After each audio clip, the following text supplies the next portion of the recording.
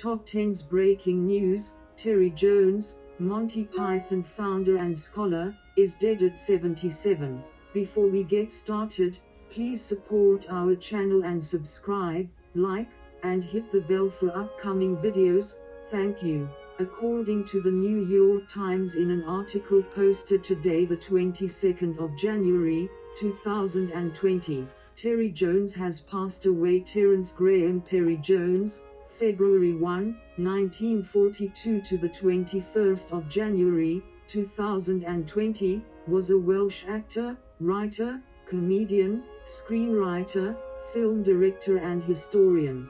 He was a member of the Monty Python comedy team. After graduating from Oxford University with a degree in English, Jones and writing partner Michael Palin, whom he met at Oxford wrote and performed for several high-profile British comedy programs, including Do Not Adjust Your Set and The Frost Report, before creating Monty Python's Flying Circus with Cambridge graduates Eric Idle, John Cleese, and Graham Chapman, and American animator filmmaker Terry Gilliam. Jones was largely responsible for the program's innovative, surreal structure, in which sketches flowed from one to the next without the use of punchlines.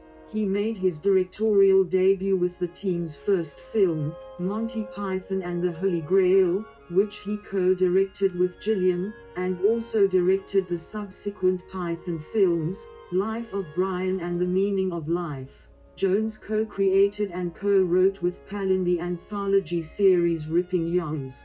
He also wrote an early draft of Jim Henson's 1986 film Labyrinth, though little of his work remained in the final cut.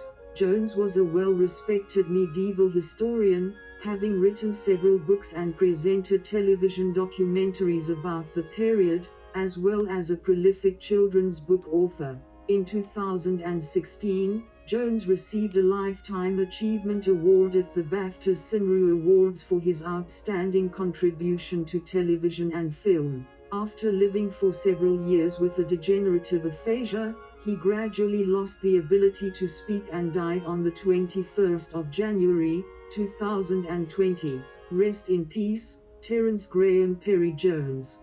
Thanks for watching our channel. If you like this video, please comment and subscribe.